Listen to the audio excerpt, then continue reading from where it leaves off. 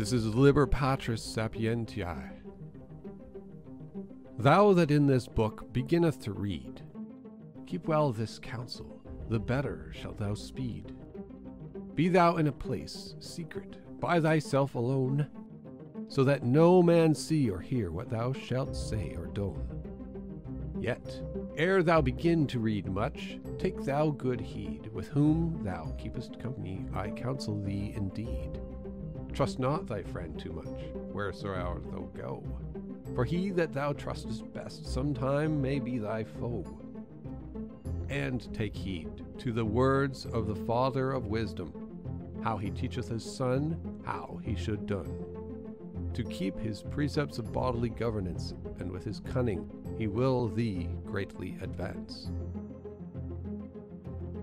And if thou wilt not to his words take heed, thou shalt stand here oft in great fear and dread. For he that hath a forewit, he needs not do amiss.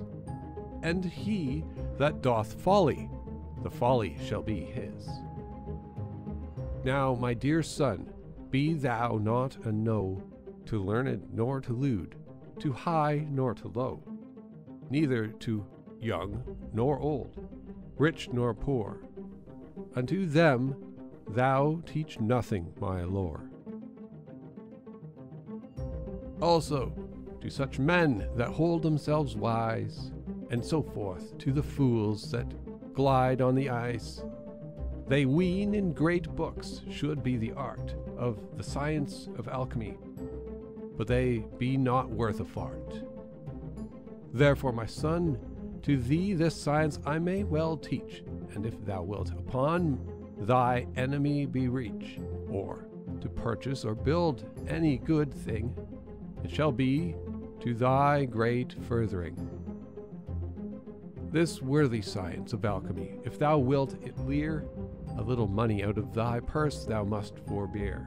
To buy therewith flos florum it is most worthiest, and to build well her cabin and her nest.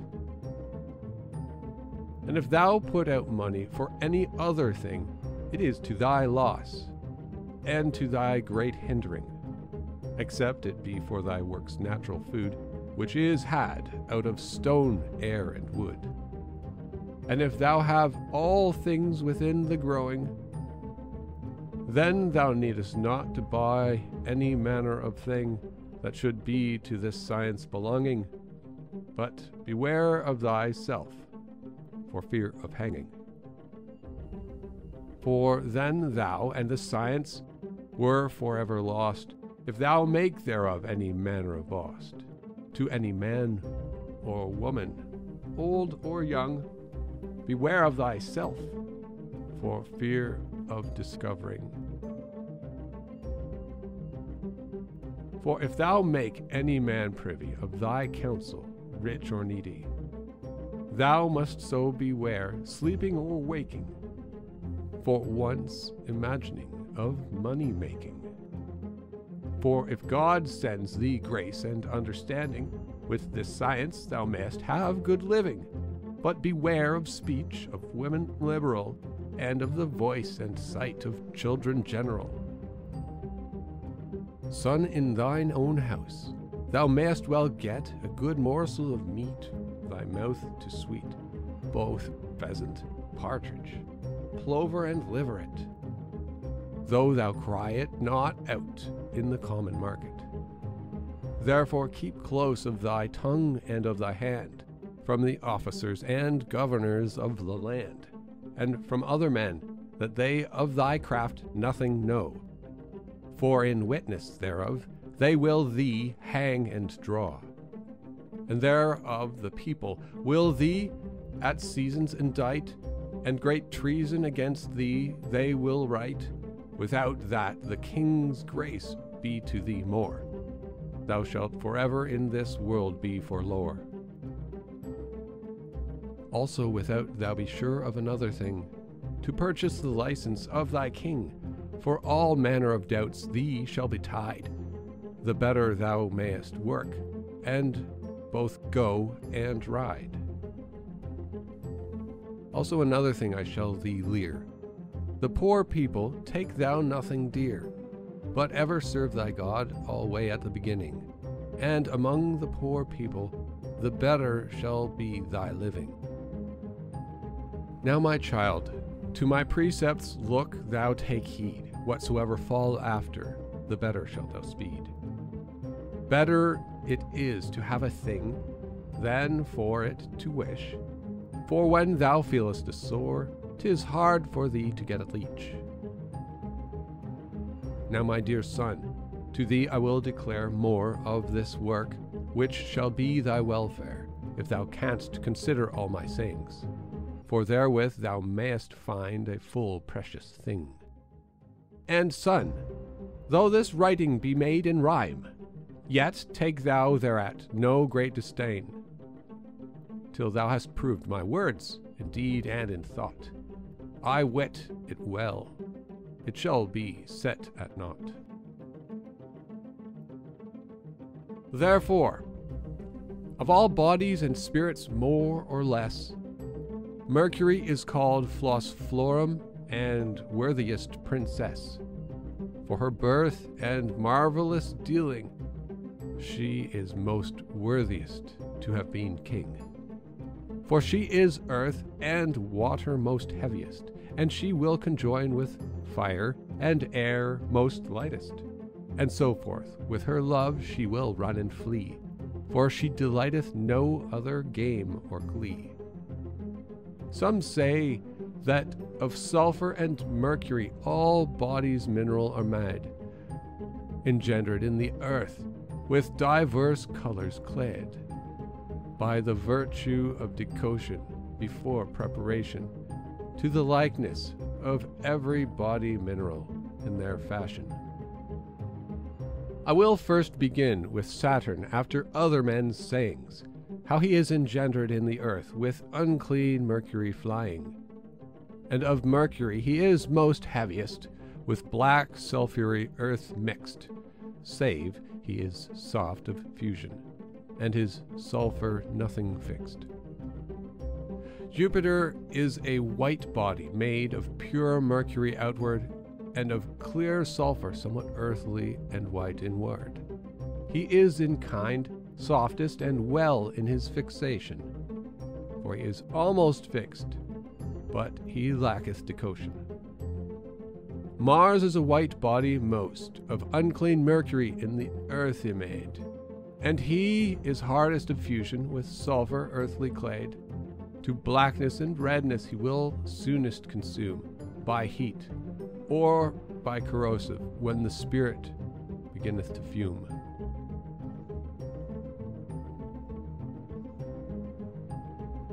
Sol is the purest, somewhat red, and is made of clean mercury and sulphur fixed, engendered with clear red sulphur in the earth well mixed. And therefore he is without default and lacketh no degree, for he is almost hardest of fusion, and heaviest in ponderosity. Venus is a body more red of pure mercury made in his substance, most of red sulphur and green, and therein is great variance. And the earth engendered with corrosive and bitter substance, well fixed and hard of fusion, rude in governance. Mercury is a body, if he be with a substance moved, mixing one kind with his kind, so shall he be loathed. One spirit received with another, the which of them be main is cause of ingeneration of every body metalline. Luna is a pure white body of clean mercury and sulphur white engendered and she is a little hard of fusion, and almost well fixed. And she is next cleanest in tincture of whiteness, of ponderosity light, of Jupiter bearing his whiteness. And so, after the color of that earth is sulphury and receptual, some men do say is engendered every metal. But, my son, the perfect work of this alteration, I shall inform the true way of another fashion. Now have I declared the working of the body's mineral, whereof they be engendered after other men's sayings over all. And as in the place of the earth one body was fully wrought, so must the artificial medicine be, or else it is not. Now will I declare the worthiest of Mercury in special, how she is the noblest spirit that is mineral most marvelous in working and in degree. She is called the matter principalist of the three. Also, she is very subtle, in many things artificial. She will both give and take tincture most special to him or of him that she lovest most best in special when she is warmed in her nest. My son Mercury is called the mightiest flos florum, and most royal and richest of all singulorum. She is very patron and princess most royal, and she is very mother of every metal. She is vegetable, animal, and mineral she is four in kind and one in general. She is earth, air, water, and fire. Among all other she hath no peer. She killeth and slayeth, and also doth calcine. She dieth, and also doth she live again. She giveth life, and also ingression. For jointly she is three in one. She is a very friendly mixer, the progeneration of a great elixir. She is both body, soul, and spirit, in color very red, black, and wet. Many be the wooers that hang on her tail, but she will not with them ideal. They would her wed against her will, with foemen that liken her full ill. She will deal with no manner of wight, but with her husband, as it is great right. With him she will bear much fruit, for he is by nature her self same suit. My son, of him fools have much despite, and therein such fools lose their light. For sometimes he is dark, and sometimes bright, for he is like no other wight. For if they have their kind engendering, their natural food and good keeping, they shall increase fruit by dean, very red and white, king and queen. My son, in this science I do deny all things that be discording truly. All manner of salts I do defy, and all manner of sulphurs in waters of corrosive. Also allume vitriol, auripigmentum, and hair, gold, silver, alkali, and sandiver, honey, wax, and oils or calx else, gums, galls, and also eggshells. Also I defy antimony, beryl, and crystal, rosin, pitch, also amber, jet, and coral, herbs, dated stones, marble, or tingless. If there come any of all these, it is the worse. Also, beryls, goat's horns, and alum plum, good with them will none be done. All things that discordeth from metal, it is contrary to this work in general.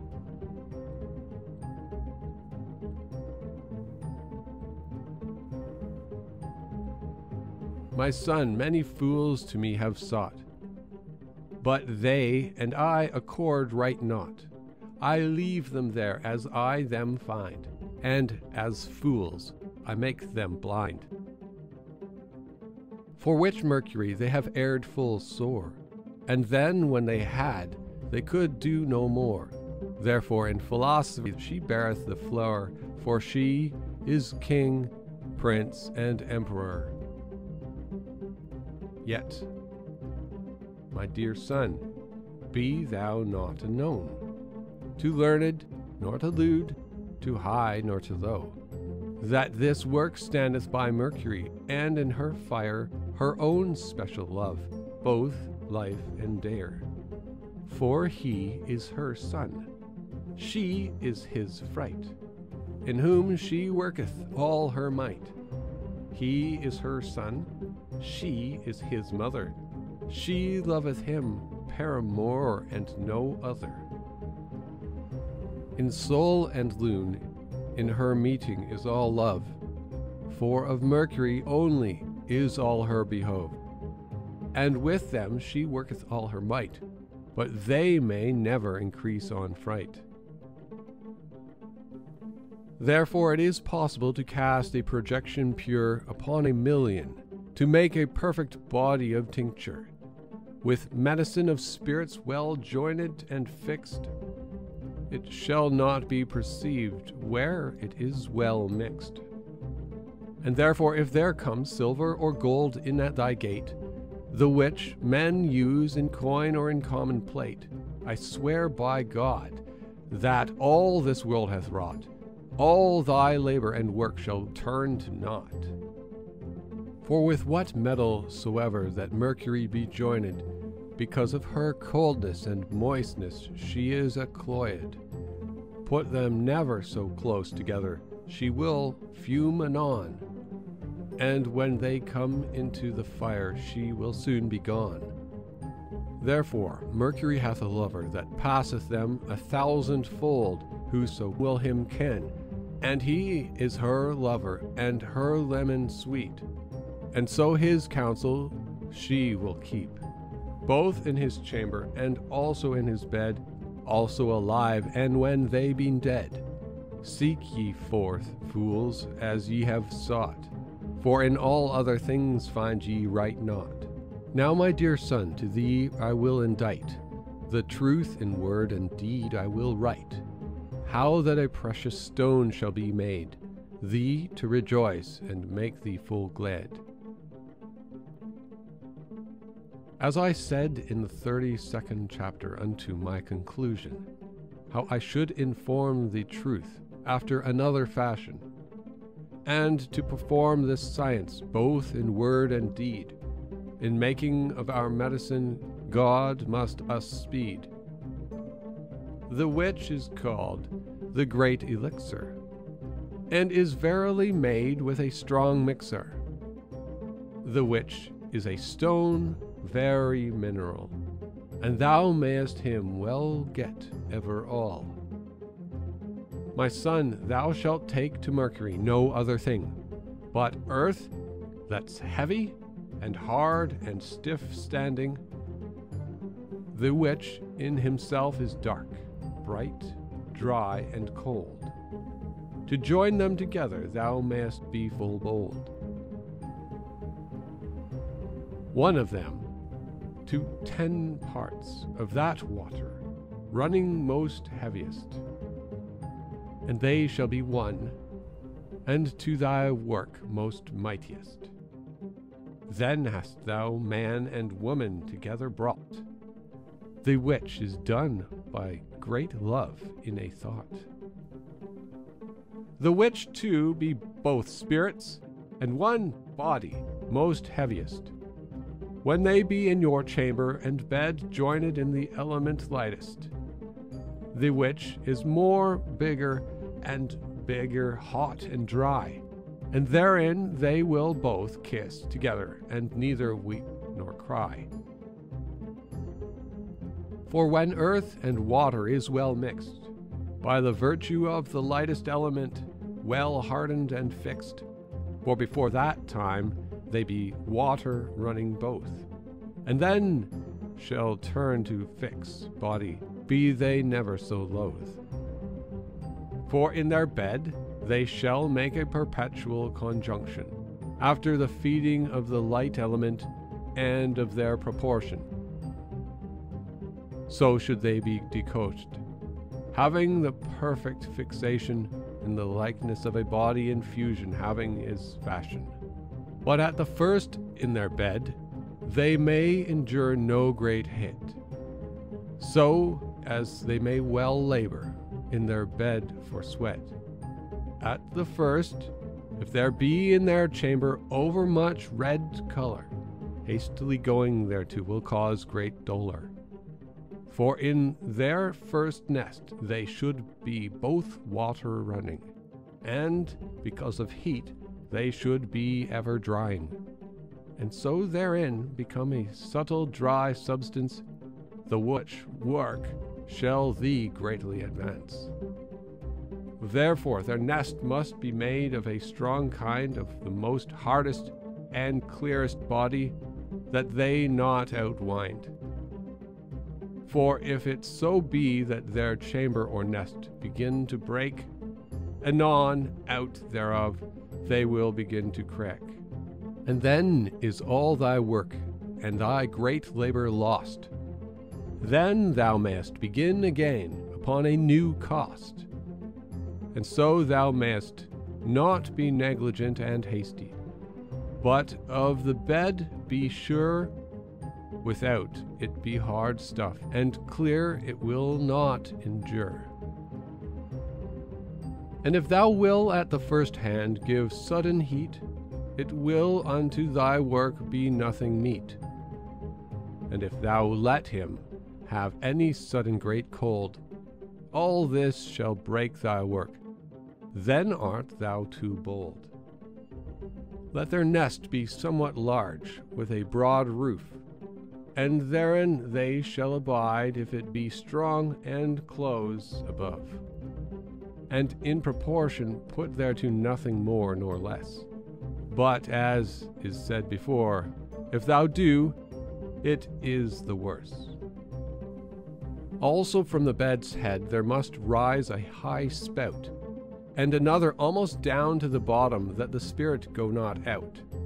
For thou must save the flyers that swim into the upper place, for they may hereafter engender a body as well as the other in space.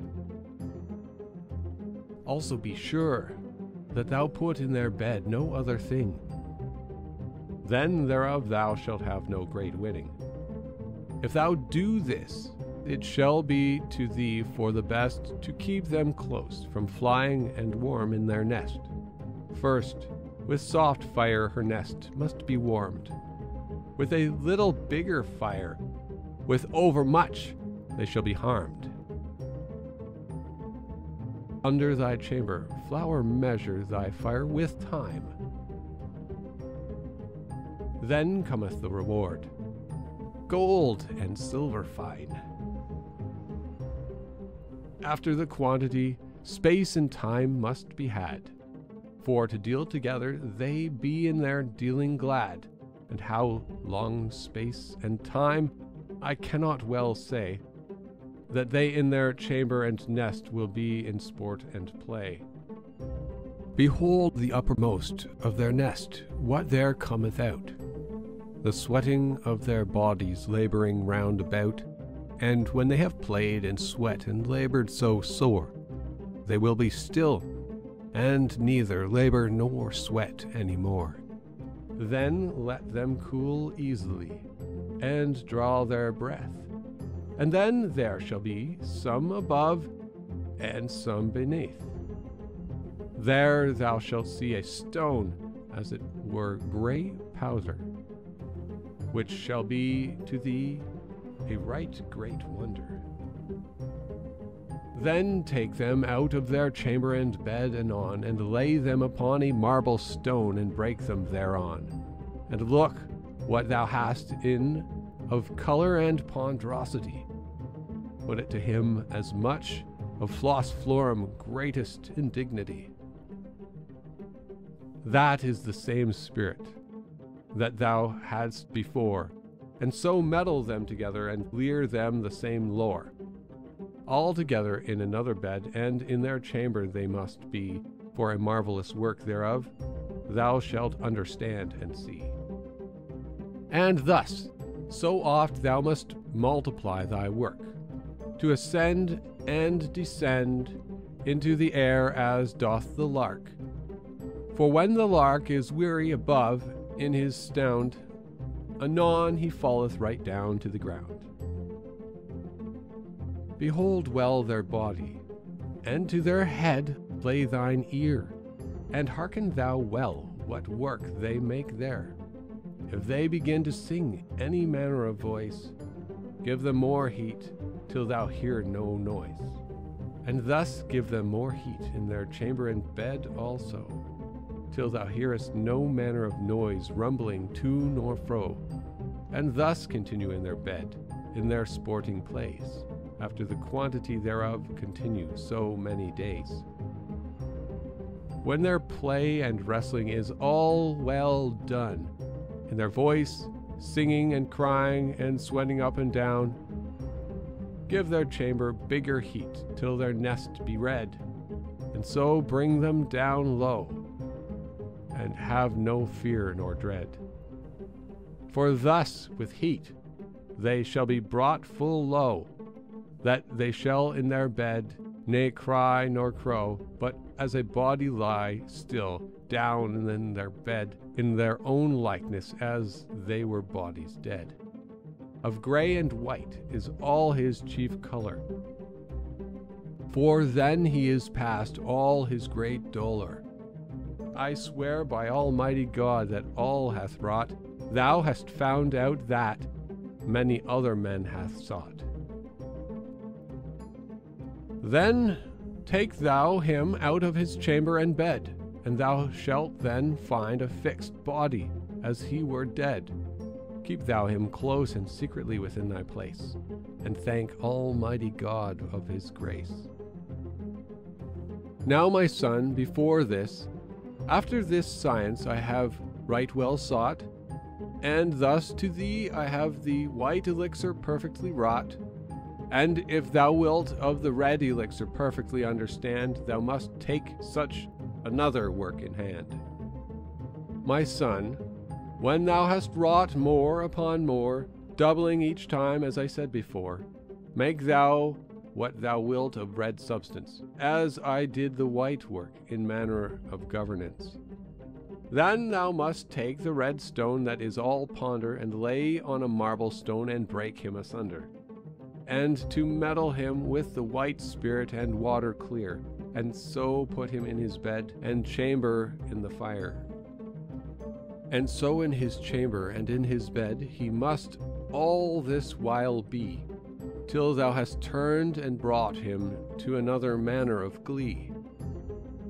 This red elixir, if thou wilt open work here, this manner of school, thou must right well lear Thou must hang him in his chamber with red color, till he be fixed and brought from his great dolor. Then of this worthy work be not thou aghast, for in the work all the worst is past. And so in his fiery nest and chamber let him be sure, for the longer he be in, the better shall be his tincture, so that he run not like blood overcoming his fusion then hast thou perfectly this work in conclusion. Thus he must continue in this great heat of firing, till he be full fixed, that he be not running nor flying. Then he will give tincture without number, running like wax, unto his like of fusion he will both join and mix. And if thy work be thus well guided and so forth led, then hast thou in thy work right well and wittily sped. For if thou do otherwise than I have thee told, in the adventure of thy work thou mayst be too bold. For if thou work by good measure and perfect time, thou shalt have very good gold and silver fine. Then shalt thou be richer in thyself than any king without he labor the science and have the same thing. Now, my dear son, I shall teach thee how to cast a projection. Therein lieth all the great perfectness with the conclusion, to lead an imperfect body to his great perfectness, enjoining that like to his like thou standest in no distress. For when thou hast joined the milk to the body's dry, then hast thou the white and red elixir truly, the which is a marvelous and very precious stone. For therein lieth in this science all the work upon.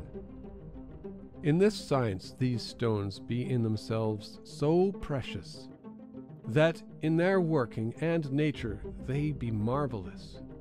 To show thee the great virtue furthermore, I will declare that if thou canst, with this manner of working, well fare.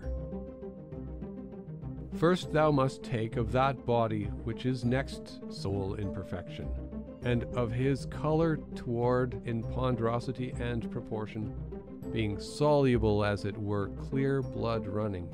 In the hot element it is always lightest and fleeting.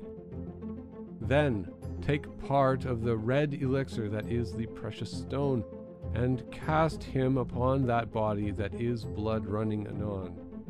And when thou hast thus perfectly this work wrought, it shall be turned into perfect Sol with literal labor or not. On the same wise, do for Luna that is in the color so white, and joining with that body that is shining and somewhat light. In the same proportion cast him the very white stone and then is all thy greatest work both made and done. Then hast thou both the red work and the white. Therefore, blessed be that time, both day and night. For this work that standeth by great virtue and love, thou must thank Almighty God in heaven above. Son, in the 21st chapter, there write I a full true rhyme that is to say, unto this work thou have no great disdain, till thou have proved my words in deed and thought. I know it well, this science shall be set at naught. My son, to these last precepts, look thou take good heed, for better 'tis to have than to wish for in time of need. For whoso is bold in time to a friend to break, he that is thy friend may be thy foe, and his enmity rake. And therefore, my son, I shall give thee a great charge. In uttering of speech, be thou not too large to tell every man what thou hast in silver or gold. For to have it from thee, many men will be right bold. Also, use not to reveal or write that should exceed to thy bodily health, the better shalt thou speed. Use temperate diet and temperate travel. For when physician thee faileth, this shall thee avail. And leave all blind works that thou hast seen or heard of conclusions, or proved by sublimations, preparations, distillations, or dissolutions. Of such manner of things, great books do greatly specify, and all those contrary sayings, in this craft I do plainly deny. Also, my son, remember how thou art mortal, abiding but a while in this world which is terrestrial Thou wittest not how long, nor hence how soon, that death shall thee visit, and unto thee come. And remember thee well at thy departing, whom thou lovest and trustest best, old and young. Make him thine heir, and most of thy counsel, and give him thy cunning or thy book every day. But beware of flattering and glossing people of boasters and crackers, for they will thee beguile. Of thy precious cunning behind or before, and when they have their intent, they will give thee a scorn.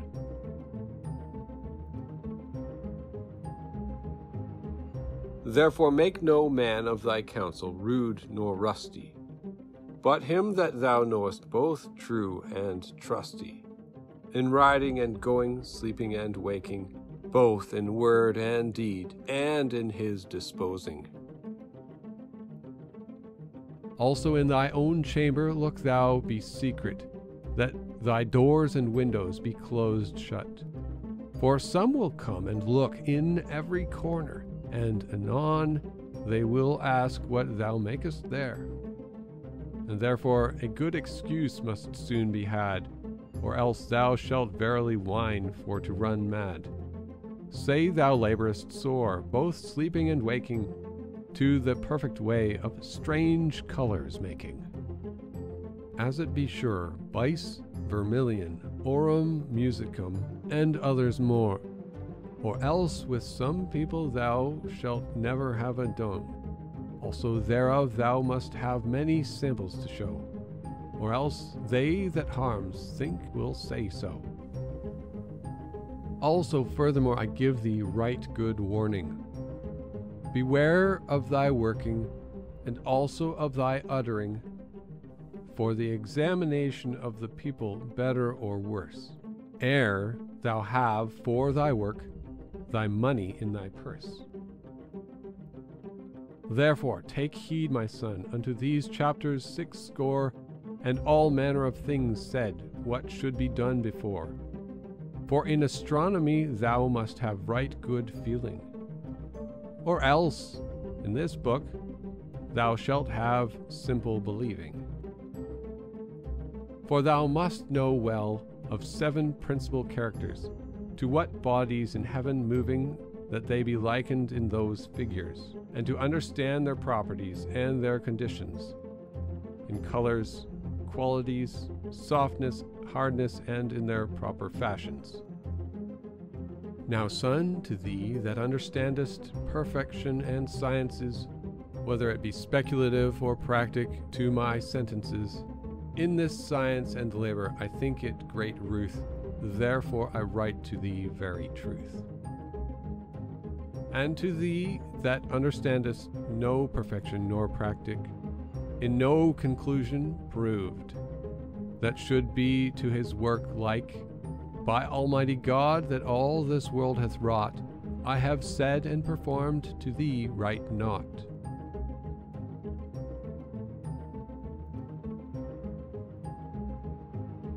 Therefore, my son, before that thou this book begin, understand wisely in this what is written therein. For if thou canst not find by this book neither Sol nor moan, then go forth and seek thou further as other fools have done. Explicit liber dictus, pater sapientiae.